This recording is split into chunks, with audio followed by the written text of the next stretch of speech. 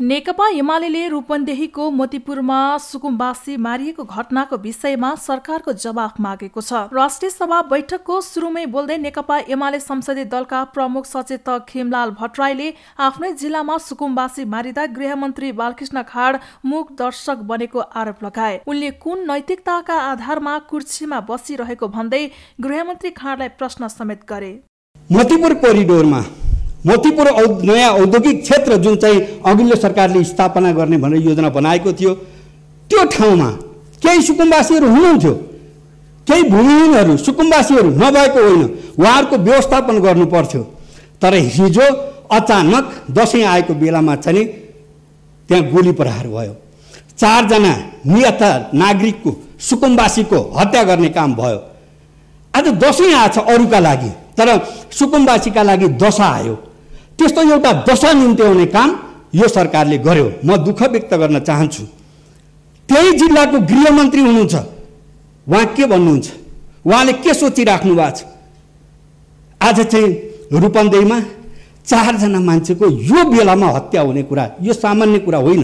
उनले मोतीपुर घटनाको निष्पक्ष छानबिन गर्न घाइतेको उपचारका प्रबन्ध गर्न मृतकका परिवारलाई क्षतिपूर्तिको प्रबन्ध गर्न पनि माग गरे। सुकुम्बासी मारिँदा पनि सरकारले केही प्रतिक्रिया नदिएको भन्दै सांसद भट्टराईले सरकार आँखा कान र मुख नभएको जस्तो देखिएको बताए। अहिलेको सरकारका कारण लोकतन्त्र र गणतन्त्र कमजोर भएको पनि उनले बताए। म चाहिँ त्यो घटनाको अहिलेसम्म पनि छानबिनका लागि कुनै प्रयास भएको हामी देख्दैनौँ।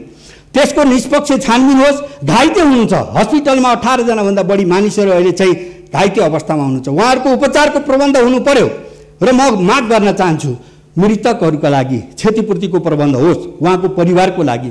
र म त्यो घटनाको सम्पूर्ण रूपमा म भर्सना गर्छु यो सदन मार्फत।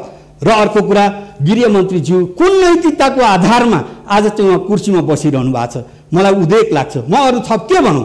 त्यही आफ्नै जिल्लामा जब शान्ति सुरक्षाको यो अवस्था छ दिन दहाडै मान्छेहरू मारिएको छ भने मान्छे पनि त्यो आधारभूत वर्गको मान्छे जो सुकुम्बासी छ सुकुम्बासी हुने रहर कसैलाई लाग्छ यो एक्काइसौँ शताब्दीमा?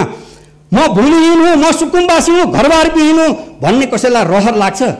एउटा बाध्यताले मान्छे चाहिँ सुकुम्बासी बनिराखेको हुन्छ।